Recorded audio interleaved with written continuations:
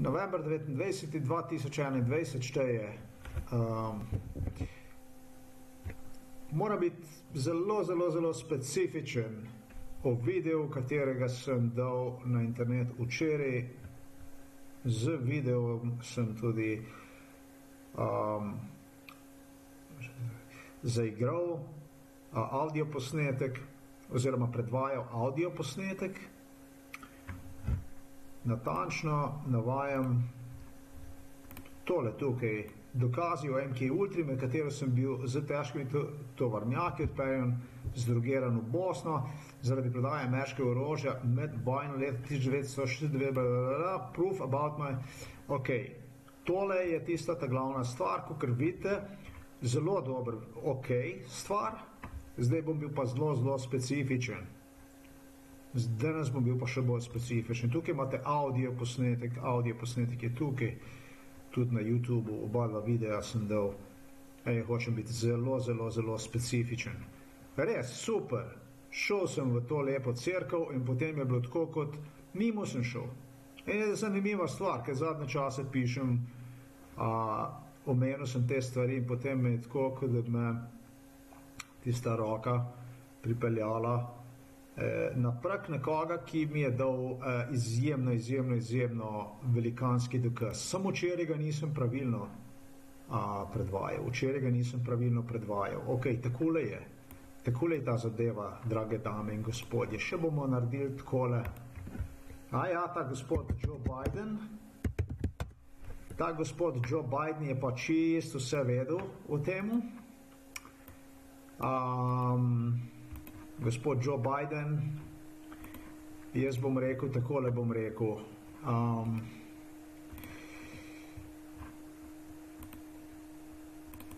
gospod Joe Biden, pa gospodu Joe Bidenu mene, najbolj, kar mene skrbi, pa gospodu Joe Bidenu, meni da me je sicer imel zelo rad, a, to so mi določeni ljudje povedali, ampak a, je bil izjemno dober prijatelj z Trumpom, tako je izgledalo, to je ena stvar, ki me zelo moti.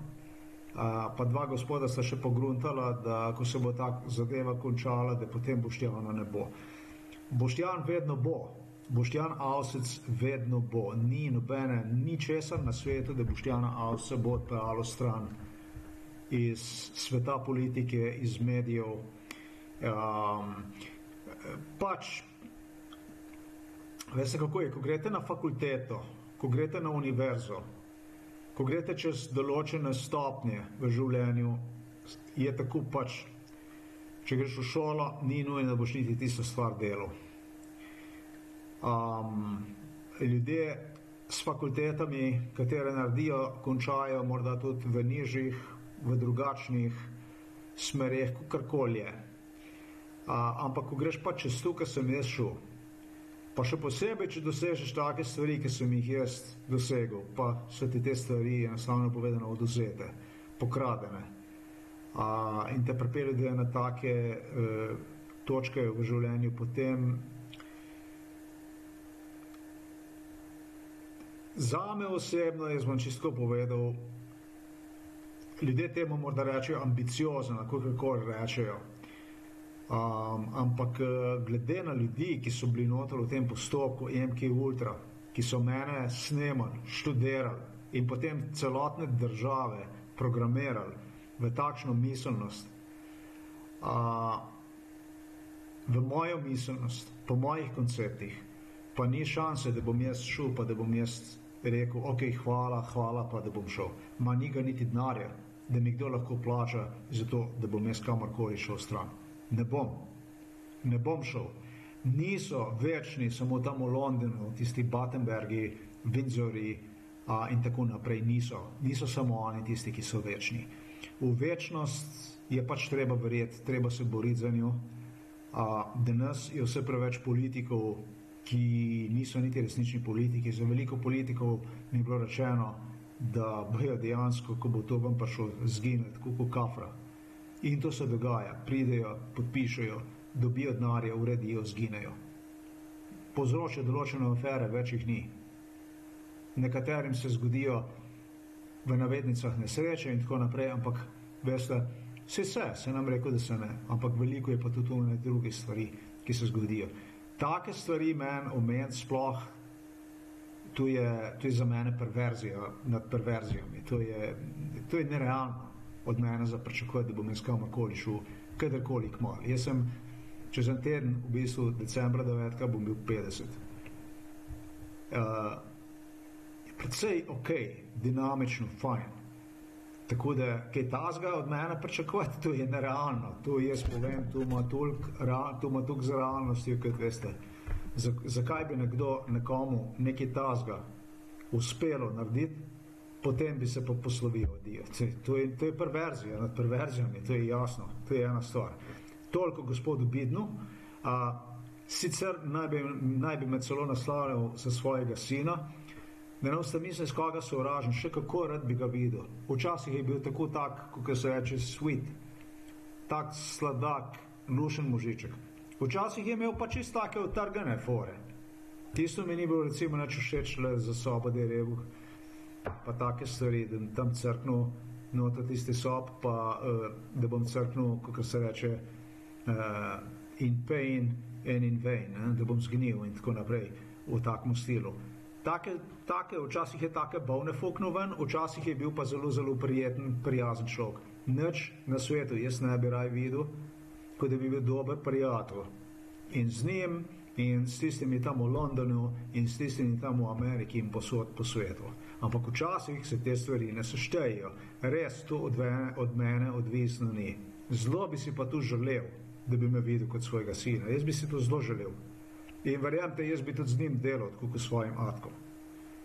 Jaz sem take vrste človek, nisem zahrten, ne skrivam stvari. Sem pač iskren, uh, ampak uh, včasih ljudje iskrenost pa dobro voljo uh, nekako interpretirajo v stvari, ki ne obstojejo sicer. Pa se pa take neprijetne zadeve dogajajo in tako naprej. Pejmo naprej s tem, uh, s to zadevo. Včeraj, ker nisem omenil tukaj na tej zadevi, točno tako je. Uh, gospod Joe Biden je vedel za tega gospoda, za njega so vedeli vsi pravzaprav. Rečeno mi je bilo, naj teh stvari niti ne omenjam in tako naprej. Zaradi podobnih afer mi je bilo v katere so me upletli, razumete, mi je bilo rečeno, naj sploh ne omenjam in tako naprej. A, take zadeve, tega je bilo, tega je bilo, A, čisto povedano, tega je bilo.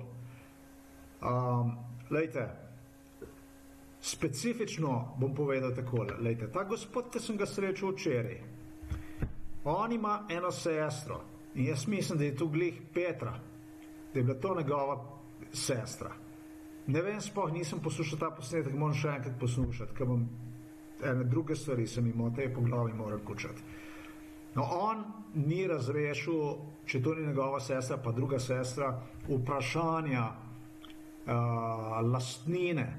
Ni tega vprašanja lastnine razrešil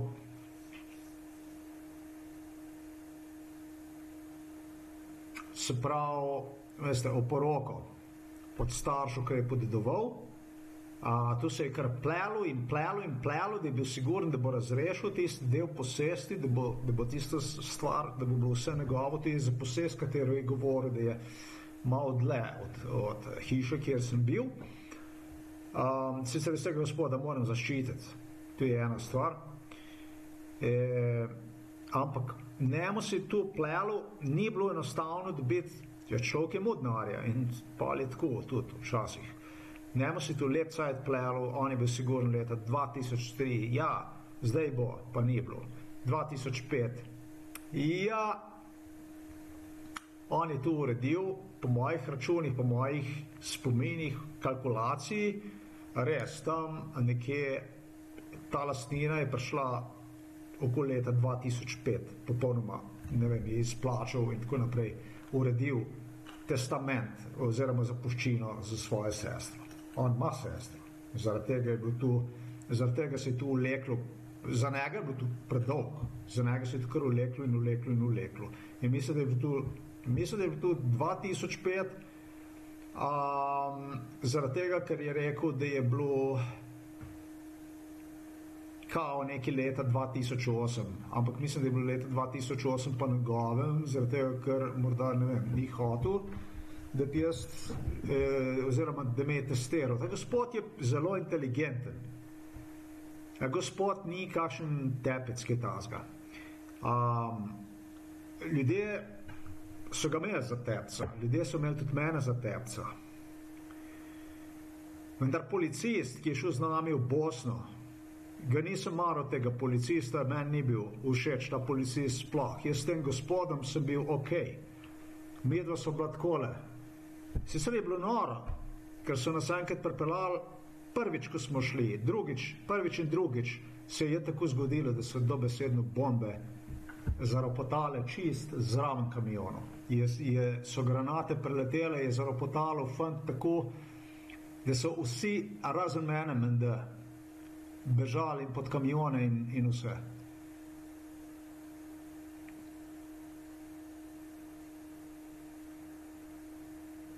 Meni pravzaprav je bilo kar zanimivo, čistko bom povedal. Meni je bilo pravzaprav tako všeč, da enkrat, ko so tistega policista dodelili in da so ga dodelili iz Ljubljane, je to bilo enih petič neki tazga, četrtič, petič, petič je šel pa z nami in tisti policist je bil meni tako dolgočasen človek. Um, čist našim bilo zanimivo okoli njega. Vsaka stvar, ki se je kdo meni približal, ki je hotel z mano in tako naprej, se je tale pred mene postavil tako kot živi zid, zastop, kot firewall na računalniku. In pa je šlo do besedno prek, a, kako bi rekel, šok pride pred vas, se ni bil slab človek, se je bil face človek. Mal je bil tako nesenzitiven, mal je bil, kako se temu reče, rough. A, jaz sem pa vse kar velik mislil, zaradi velik stvari, ki se je že zgodilo pa bom jaz enega tazga mu, da bo tudi zdrogiran, ko sem bil, sem bil všel. Nisem jaz nobenemu dal nobenega kredita za nič. Uh, in enostavno povedano, zaradi takih stvari so mi tudi prišla v spor. Ampak glede tepca, ki so ga imeli za gospoda, je, bom povedal tako, da je bil ena stvar je bila tizga, ki sem ga srečal v, tako, v vasi. V vasi so tam, no, gospod je iz Šmarijete, izven šmarjete, nad šmarjete v bistvu. Se ga imeli tako, kot za kar en tako, pa ni bil en kar tako. Ti je vedel, tako kot švicarska ura, ko smo šli po Bosni, je točno vedel, a za vsa sporočila je vedel, za, eh, je bil pa čist neki drugega, vse je vedel na mapi, kje je. Tist policist, ki ga je gledal, mu je kar jasno ratalo, da to ni en kar tako z enim tepcem ker enkrat je videl en drugačen svet, da ni bilo glih kar tako to. In meni je bilo to všeč. A njemu je bilo všeč, on ni hotel imeti nikogar drugega, ta gospod, ko me je na sabo, ker jaz sem bil tako, tako en kavboj, z drogerom sem bil čist. Smo šla. E, Poslušaj, MK Ultra, to, ko si zdrogeran, to ni nič. To je brez veze, to, to si, to si je tako že na put crkve čisto povedano. Z njim je bila pa akcija. In smo šla in uh, on, on zgleda, da je mene užival, jaz pa njega. In smo se vozila in smo šli in smo se vozili. Uh, in tako se je zgodilo. Prvič, drugič so bombe zaropotale, granate vam povem, čez ram kamiona. Je, je, smo se perpelali na eno mesto, E, je bilo tako ljudi, no, sem pa kaj je bilo, je bilo, ljudi je bilo, zastopte ljudi je bilo, no, ljudi je bilo. Kar naenkrat je pa počlo, je vem ti, v redu je počlo, pa je še zraven malo bolj počlo, pa mi je že kar zanimivo ratalo. E, je, je, je, je začelo dežvati, tiste granate so začele dežvati in to se je ponovilo enih dvakrat, trikrat. Uh, ta gospod, ki je mene videl, je še celo živčen, ni bil toliko, bi sicer bil, verjetno. Uh, in Ja, neč, tako je bilo, to je ena od stvari. No? Uh, drugač pa ni bilo tako. Pa je že tisti policaj z nami šel, tisti policaj je vse zajebal. Pa ni bilo več zanimivo, ni bilo več, nič se ni več dogajalo, ratalo dolgočasno, ni bilo več tako, kot je bilo. Zgleda, da smo potovali po enih takih bolj zanimivih poteh, ki tazga, kaj pa vem. Je bilo vsega, vojska je bila, uh, ustavili so te, ja, lahko te počeli, lahko te ne počeli, kot je bilo včasih. Včasih se je srček ustavil, pa je šel spet tako kot kamion, se lepo vrtelo naprej. Jaz pojma nisem imel, kaj, kje, komu komu smo mi tu vozili. Za boji so bili, ni bilo dinamita. Dinamit mi je enkrat pokazal, enkrat mi ga je pokazal, ampak tu je bil tam v, v nekje v Bosni, v Srbiji. Mi je pokazal dinamit, je bilo, imel je dinamite, pizda, imel, je, imel so take res šope dinamita, je bilo, rdečo je bilo, tisto se je rekel, da je dinamit, evo dinamit drugače so bili pa tu zaboji. V Ljubljani, iz Ljubljana so bili te zaboji. Vozniki niso niti vedeli. Vozniki, kamionžije, ki so prišli v tisto firmo, kjer se je les prodajal, niso sploh pojma imeli, kaj je bilo. Oziroma, en šoferžija, še zraven, ki je bil, morda en, dva, morda sta neki šuškala, sta, malo sta vedela. So pa dobili ljudi, ki so bili tako nadolžni kot ovčke, nič česar niso vedeli, nič niso vedeli, lahko bi mu, lahko bi mu pištolo, po mojem, res. In jaz sem kar tak, da jaz to dobro znam oceniti, kako tudi, ko sem bil zdrogiran, sem bil kar orgi psiholog, sem vedel, kdo s kom, kaj, kdaj in tako naprej, bolj, ko bi si kdorkoli predstavljal. Uh, in lahko bi mu pištolo na sence dal, pa ne bi vedel ničesar, kako in kaj je. Enkrat je eden celo zvedel neki, je bila črta, ga ni, ga ni bilo več. Je bil krek, je bil bye bye, druga so bili pa tu za boj, razumete? Smo tudi čakali, je bila zamuda, ki so jih dostavili. Tu je bila neka firma, razumete, kako bi rekel. Jaz se spomnim pisarne, tistega gospoda, ki je not, ki je tako mlajši, tako kot jaz, jaz sem bil takrat star. Kako je pa bil? Jaz sem bil takrat enih 25 let star, ok. In to je bilo odvisno. Tist gospod, ki je postal pal, ki je dobil to zadevo čez, mislim, da je bil tam, po mojem, tam enih 35, ki je tazga tam nekje se je gibala njegova starost. Ne? Se pravi, ta gospod je imel enih, ocenjujem, enih deset let več kot jaz. Ti bi bil tako, kot sem jaz zdaj grajen, fizično tak zelo priseben, mlajši, profesionalen, zelo profesionalen človek. Uh, pošiljka, kako je bilo s pošiljkami? Pošiljka je bila pa tako, no? je bil pa koncept vsega, je bil pa ta.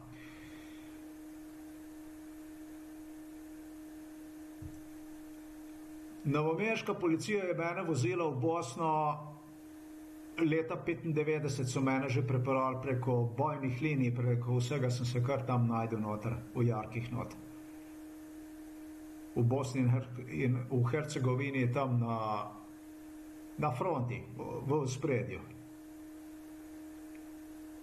To je tako, kot da bi prišel, pa da bi kar čez eno luknjo padel, če jaz bom, pa bi bil tam kar nekje drugje, se najdel. Ne, no, na drugem koncu sveta, tam kar naenkrat na fronti. Razen seveda, če zanemariš tiste, da so včasih kakšni vojaki korakaš res eh, s puškami, ki te res lahko počo tako, da pojma nimaš, kako plako zginil.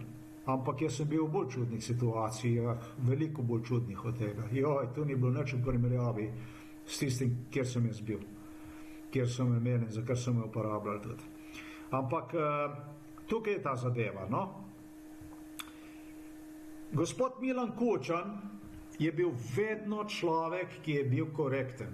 Ki je bil vedno človek, ki nikakor ni šel v spor z zakonom. A zastopte, a veste, kdo je kraljica Elizabeta? Tako, to je gospod Kučan. Sloven. V Sloveniji je to gospod Kučan. On nikdar ni prišel v spor z zakonom, zaradi tega, ker sicer. Zdaj pa poslušajte dobro, kako bom to lepo povedal, objasnil, da si boste lahko predstavljali. Začelo se je šušljati od orožja. Velikanski profeti, velikanski denari, strahoviti denari. Nekdo je omenil to orožje, nakup, začel se šušljati. To je pa tako, kot da pa imel skupino psov, pa da bi vzel vem, kost, pa bi to kost zabrisal med to skupino psov, pa bi bila ta kost ena taka kost, ki bi te psi živeli, da je uh, ne vem, ali pa recimo neki živga, en živ plen, ki bi se znal braniti, tudi, ki bi se tudi lahko znal ugrizniti. Pa bi te psi bi krožili, veste, tako kot hijene, okul, tak, tak, tak, tak, tak. In pa enkrat bi pa se ne bi mogli več zadržati, pa bi prijeli tu. Tu je bilo to. Tako, tako je bilo to. Ta prvo se je izmeraj šuškalo, šuškalo, šuškalo. Pa so morali nekoga najti, da za vsak primer, če bi stvari karkoli, da bi še zmeraj imel nekoga pred sabo, da bi on je v tem stilu, da bi to šlo čez. Bal so se tako stvari, da to ni res. Ne? In jaz, ki sem bil zdrugeran, sem bil pa, meni je bilo pa, meni, men, jaz, jaz, jaz sem se zavedal, da jaz sem zdrugeran. To, kar so z mano delali, je bil kriminal. In če taki gospodje, kot je tu, uh, take stvari izvajajo, meni ni težko povedati policiji, da sem zdrugeran.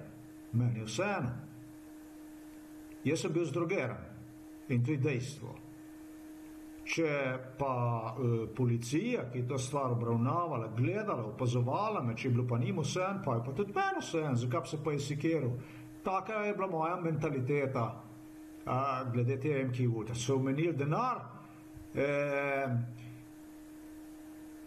zraven so omenili pa, da to ni dobro, pa da to ne bi bilo dobro za njega, pa eh, tu pa ne.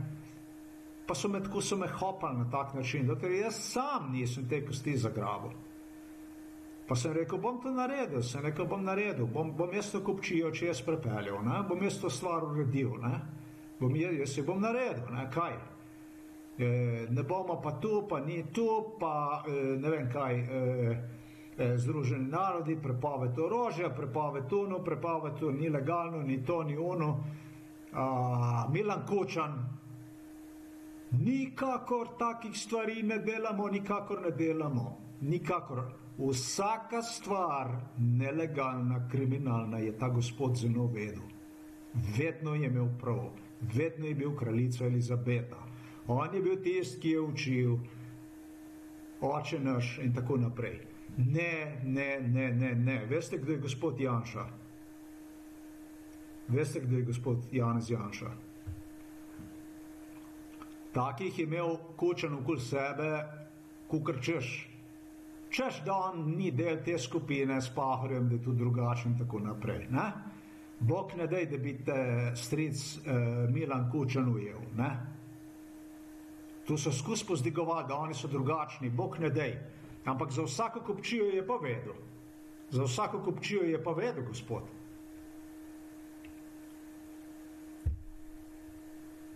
Jaz sem hotel, da gre tu čez.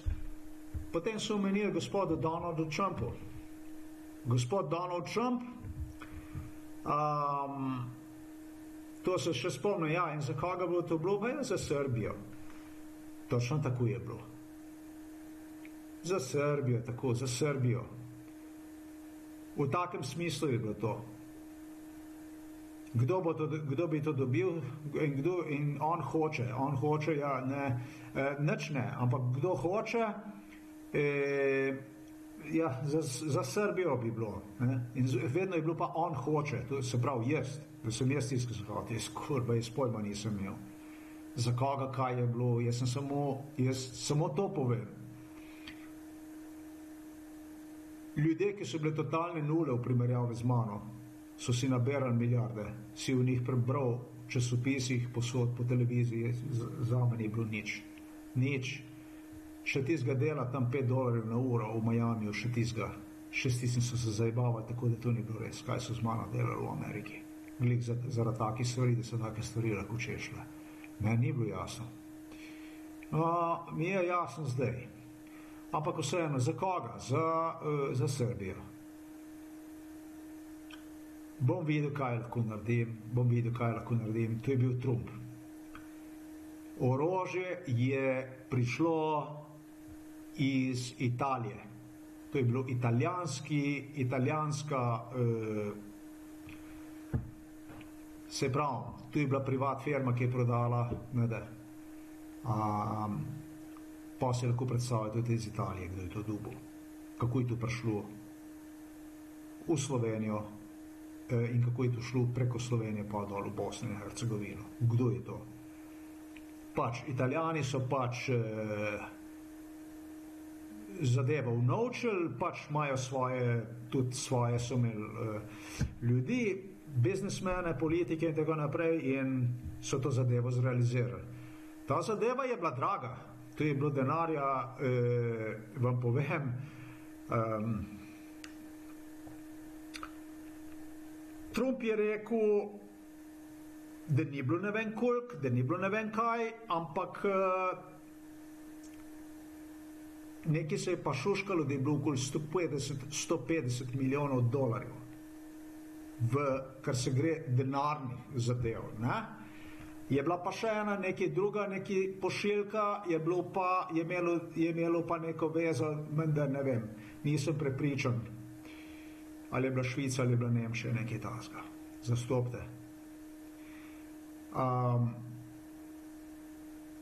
ko je bila zadeva upravljena, eh, vsak bi, ker boš dubo, to bi, to bi bil tvoj prvi biznis, To bi bil tvoj prvi posel, ki ga boš ti sklenil, ker ti boš tako kot bezos šel zdaj. Što ti boš zaslužil? No. Tako je meni trup pumpov. In tako so oni mene dobili, da sem češ jaz tu znaredil, tu sem jaz biznismen, evo ga, uresničil svojo prvo zadevo in tu je tu. In je začel denar. Ni bilo nobenega denarja. Ko je bil likov, je gospod Kučan prišel na sliko, pa je bila kraljica Elizabeta, je šla, pa je rekla, aha, pa si naredil tisto, kar ne bi smel, a kaj bomo s tem denarjem? Um, o tem je pa gospod Kučan vse odločeval, vse. Kraljica Elizabeta, ki ni vedela nič, je potem odločevala vsemu, Uh, malo mal boš ti, malo bo on, malo bo tretji čudežno kuča ni rekel moje. Tega ni rekel.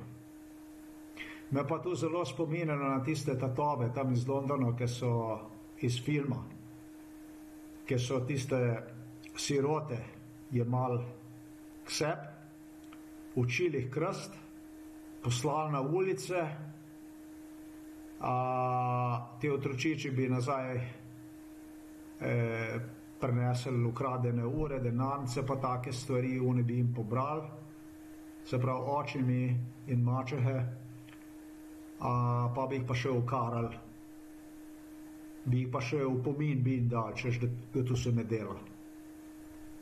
Jasno pa je, da se spet pričakuje, da se več stranje naredi. To je pa slovenska politika, dragi moji. A zastopte gospoda Janša.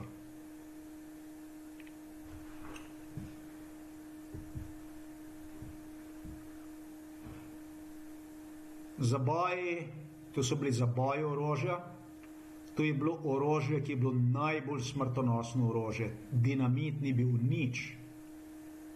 To je bilo orožje, ki je bilo high-tech orožje. To je bilo 150 ali kup milijonov denarja. E, šlo je pa za ne par pošiljk, ni bilo to samo iz Italije, kot sem rekel, to je bilo nekje je bilo večina je bila iz Italije, je bilo pa tudi nekaj, kot sem povedal, trikotnik, Nemčija, Švica, Avstrija, tam nekaj, nekaj je bilo. Glavno, glavnina je bila pa iz Italije.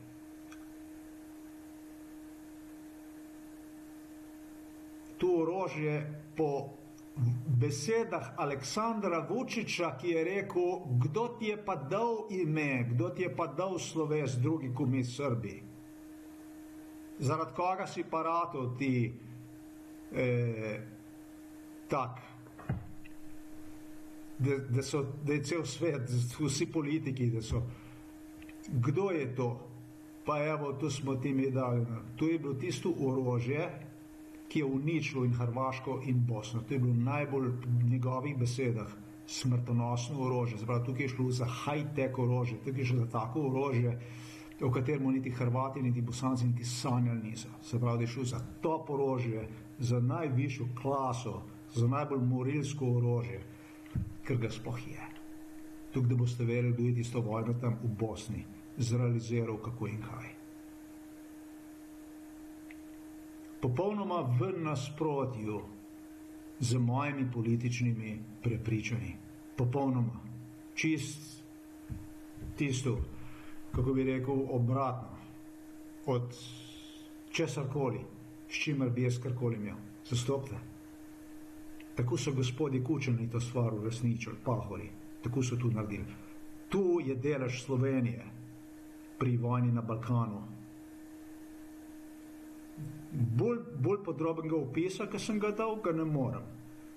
Ja, čakali smo, celo čakali smo na to, da so pripeljali orože za boje.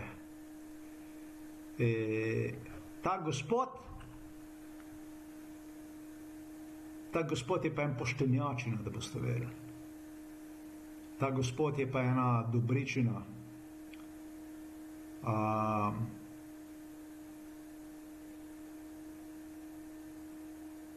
Jaz mislim, da je to eden najboljših ljudi, kar sem jih srečal v življenju.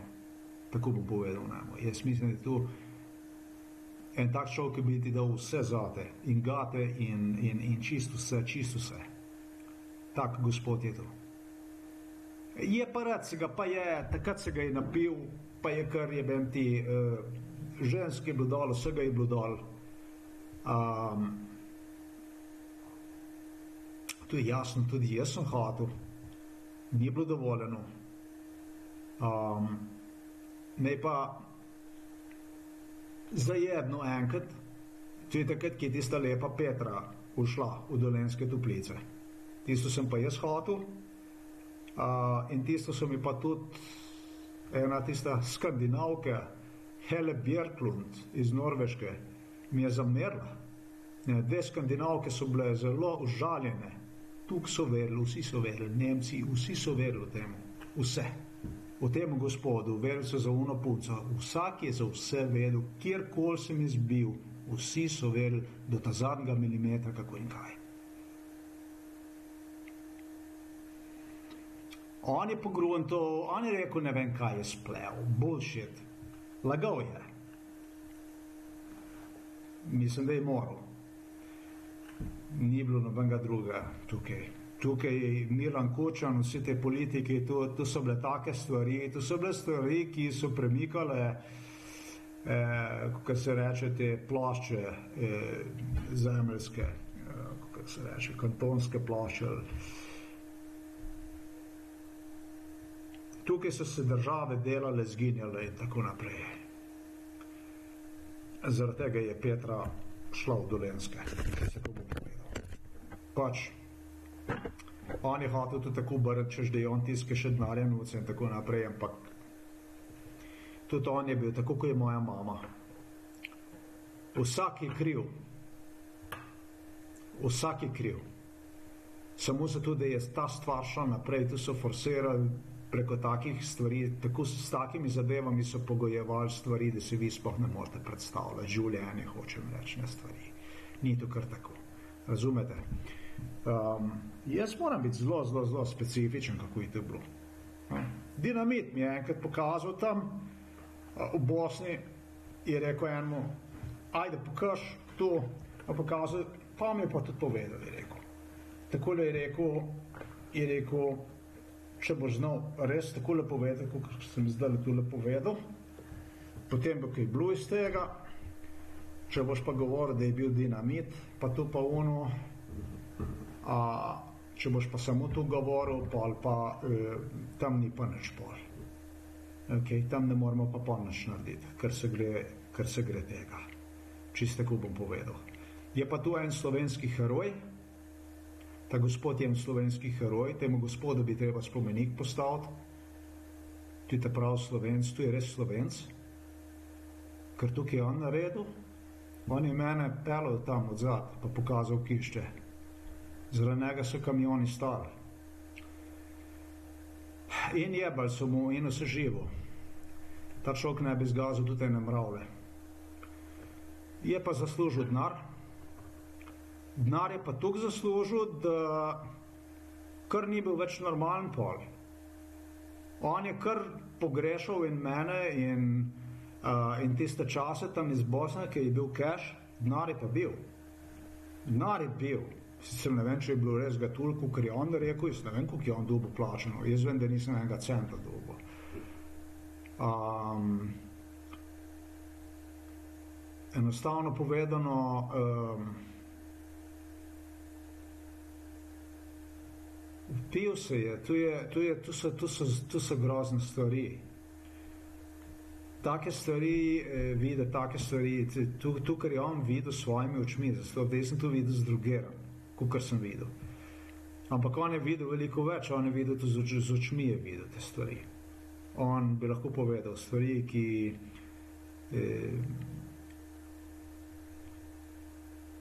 Take stvari, ki je on videl, tu prav gotovo noben, tu prav no, mislim. On je to videl s svojimi očmi, on je tam prišel, eh, on se je tam srečal s takimi ljudmi, kot so Karadžič, Vučić, Arkan, on jih je videl na lastne oči in z njimi se srečal in pogovoril. Sto posto, da se je. Jaz ga nisem videl, da se je, uh, ampak uh, prekimu mi je, ker sem omenil Arkana. Arkan je bil pa posod. Arkan je bil, jaz sem bil pa Arkanu skozi cel čas, ko je bila vojna tam, v, pa je bilo, majoj.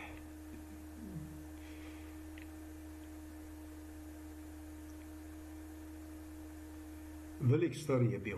Bilo, okay. Ko so Karadžiče dubelj, sem bil jaz, mi je njegov brat kričal na me v Beogradu, ko so me pripeljali, da je tu vse zaradi mene in tako naprej. Vi pojma nimate, kaj je to bilo. Jaz sem te stvari videl na svoje. E, tist, kaj je bil kapetan Dragan iz Avstralije, pa to. Vse, vsi, vse, vse sem srečal.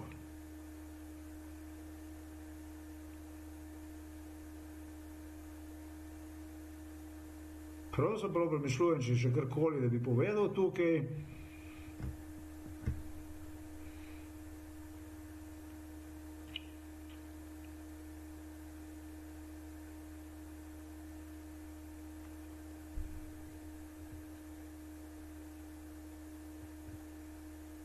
Ne, zaradi tega, ker bi verjetno moral napisati 50 knjig, samo od tega tukaj, kaj je od Bosne, kaj, kaj je tam, od, od vojne tam, kaj je bilo. Kaj je bilo toliko, da tam na, na področju bivše Jugoslavije, so bile take situacije, preko mene so ujeli vse vrage. Uh, in na Hrvaškem, hrvaška policija je lovila kriminalce, in potem tudi v Srbiji, in tako naprej. Svašta je bilo. Zato, da so se določeni krogi iz Zahoda dokazovali z tehnologijo in tako naprej. Moja glava je bila, ja, doskrat je bila tako, da je bila situacija taka, da sem bil zraven kriminalca, ki je bil tri četrt nor. Že so njegovega partnerja ujeli, že so jih pohapsali, on je bil ta zadnji, zastopte. Tri četrtine je bil nor, e, oborožen, z njim noter, v v, noter tam, e, ne vem, kje je bil split zadar. Nismo sploh pojma imeli, ali bomo tam živeli, ali bom jaz tam sploh, kaj on sam ni vedel, se počel, se ne počel. Take situacije so bile. Pa smo se z avtomobilom pelali, pa je se mu pa pok naredilo, pa je bil konc. In tako naprej, in tako naprej, in tako naprej. Okay? Tako da, če hočete vedeti, glede te, te Bosne prepelantam, vidite stvari, jaz sem. Ja, je bilo tako. Uh, ampak to ni bilo v primerjavi s tistimi bojnimi linijami, tam, tam kaj je bilo tisto, tisto je bilo pa spet druga stvar. No, ampak ta gospod, ta gospod je bil, um, ta gospod, eh, za, za mene je res, eh, posebej za mene, ta gospod si zasluži spomenik že zaradi tega, ker on je, on je bil osovražen tam. tam je bil en kup ljudi okoli njega v, v Šmarjeti, ki so, ki so se prav organizirali proti njemu. In on je kar živel za to stvar, zastop, da on se ni uklonil nobemu, ta človek. Sicer ga je alkohol dal in tako naprej, ampak eh, še zmeraj malušne sinove ima. E, žene še stran od njega se je ločila, Um, jaz, ki sem ga videl, če je dobro zgleda, čist popolnoma, tako kot je zdaj. Nobenih takih stvari, ki jim takrat, ne samo trezen, bom rekel, ampak v redu, zelo dobro zgleda kot človek, tako kot treba. Sem rekel, da sem rekel, sam sem rekel, res žensko potrebuješ, nekaj si najti. Starejši ratujemo, tudi jaz, ne mlajši, tako da. Um, To je to. Nimam kaj drugega povedati. Danes je eh, še enkrat eh, november 29. 2021, tle imate še tole, bom eh, enkrat bom še omenil vam to, to je tukaj dokazujem, ki je ultra in tako naprej, gospod govoril dinamita, tle in take zadeve.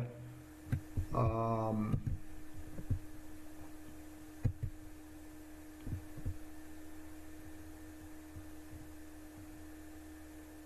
to je tukaj je pa dobesedno pa posnetek, eh, posnetek, da se jaz definitivno da se mora tam priglasiti pod najamo in se tudi bom. Ta gospod vas malo srad, čisto bom povedal. To je en heroj. Za mene je to en heroj, ta, ta gospod. Jaz drugega ne moremo ne moremo reči kot to. Sicer je bilo vsekakršne pizdarije, neumnosti, ampak eh, za mene eh, on bo vstal to, kar sem rekel. In konc, to je to. Ok, hvala za ogled tega videa.